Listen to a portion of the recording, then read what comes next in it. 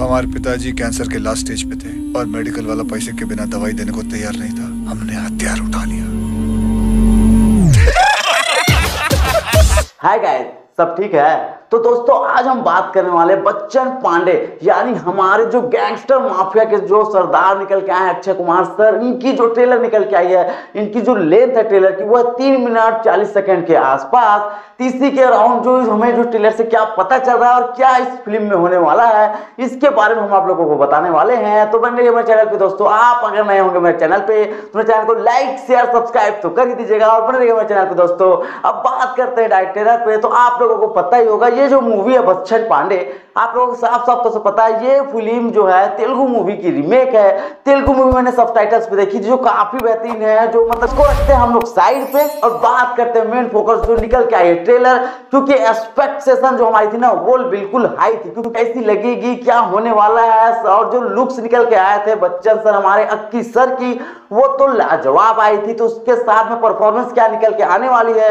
और आप लोगों को पता ही होगा, जो ये मूवी है जॉनर पे बन रही है, वो एक गैंगस्टर यानी एक्शन थ्रिलर और कॉमेडी ड्रामा फ़िल्म होने वाली है। तो हमें तो ये तो पता था कि जो कॉमेडी है, वो भी अच्छी होने वाली है और जो मतलब कि एक्शन होगा, वो भी काफ़ी बेहतरीन होने वाली है। ट्रेलर से पहले हमें पता नहीं चलने वाला था कि क्या होने वाला है अराउंड पूरे ट्रेलर पे और फ़िल्म पे। तो बात करें डायरेक्ट ट्रेलर पे तो ट्रेलर स्टार्ट होती है अरशद वारसी और हमारे कृति सेरन से। तो आप लोगों को पता होगा कृति सेरन जो ट्रेलर पे नज़र आ रही है कि वो एक फ़िल्म बनाना चाहती है, जिसमें अरसद वारसी को सेकेंड रोल पे बनाना चाहती है वो लीड रोल तो वहीं पर होता है वो एक मतलब कि रियल जो पर्सन खोजती हैं, जिसके लिए वो चुनती हैं बच्चन पांडे को, जो होते हैं गैंगस्टर पे। और फिर एंट्री होती है हमारी अक्की सर।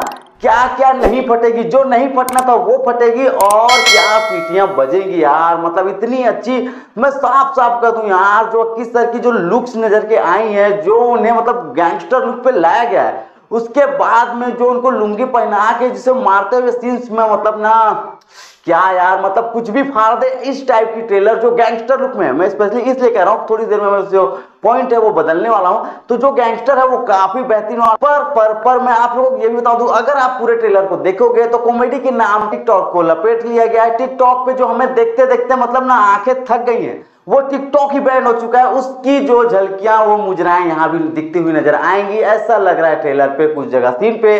तो मुझे कहीं ना कहीं ये डर लग रहा है, जैसी रेस थ्री की हाल हुई थी और जैसे हाउसफुल फोर की हकम जैसी रेस थ्री की हाल हुई, उसके बाद जैसे हाउसफुल फोर की हाल हुई, कहने का मतलब था वो हाउसफुल फोर अच्छी कमा के गई थी, पर कहने का मतलब जैसी उसकी मतलब कि पंच लाइन हमें नज़र आई थी ना और जो इस मूवी को डायरेक्ट कर रहे हैं आप लोगों को पता होगा सेम डायरेक्टर हैं। यार तो मतलब मैं ये नहीं सोच रहा हूँ कि कहीं ना कहीं उस मूवी का भी हाल ऐसा कर दें, पर काफ़ी सारे कैरेक्टर को इंट्रोड्यूस कर दिया है, जहाँ पर आते हैं पंकज त्रिपाठी, जो नेलिट उनकी तो मतलब की एक्टिंग का मैं फ़ैन हूँ, उसकी लगती है मतलब ना, वो थ्रिल स्टार्ट होना चालू हो जाता है कॉमेडी के साथ में।